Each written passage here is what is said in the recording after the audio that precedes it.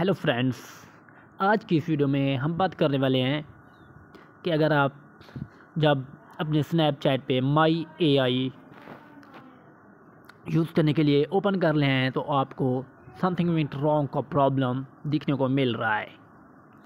हम इसको ओपन करते हैं तो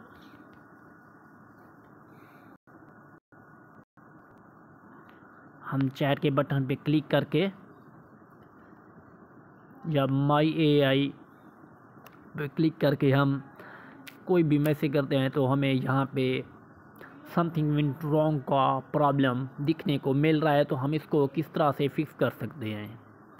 तो आपने बैग आके फिर से अपना स्नैपचैट ओपन कर लेना है। ओपन करने के बाद यहाँ पे आपको प्रोफ़ाइल का ऑप्शन मिलेगा तो आपने सिंपली से यहाँ पे क्लिक कर देना है। यहाँ पे क्लिक करने के बाद आपको सेटिंग का ऑप्शन मिलेगा। आपने सेटिंग के ऑप्शन पे आके आपने यहाँ पे स्क्रॉल डाउन कर लेना है। स्क्रॉल डाउन करने के बाद यहाँ पे आपको एक ऑप्शन मिलेगा क्लियर माई एआई डेटा तो यहाँ पे आपने क्लिक करके कंफर्म यहाँ पे आपने डिलीट माई एआई डेटा तो आपने यहाँ पे डिलीट क्लियर ऑल डेटा कर देना है। ये काम करने के बाद आपने फिर से वापस आ जाना है और फिर से अपना प्रॉब्लम चेक करना है कि फ़िक्स हुआ है कि नहीं। अगर आपका प्रॉब्लम फिर भी फिक्स नहीं होता तो आपने सेकंड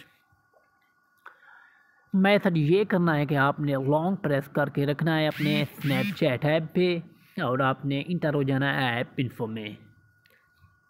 ऐप इन्फो में इंटर होने के बाद आपने क्लिक करना है स्टोरेज पे। स्टोरेज पे क्लिक करने के बाद आपने क्लियर कैश और क्लियर ऑल डेटा कर देना है अगर आपको अपने स्नैपचैट का पासवर्ड याद है तो।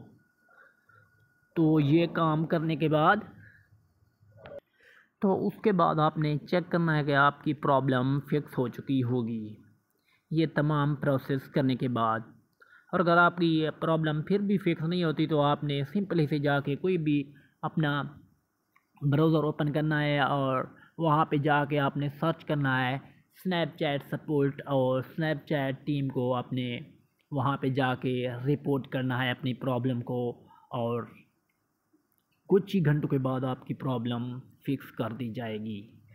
तो आज की वीडियो अगर हमारी आई हो पसंद वीडियो को कर ले लाइक और चैनल को कर ले सब्सक्राइब मिलते हैं एक नई वीडियो में। शुक्रिया।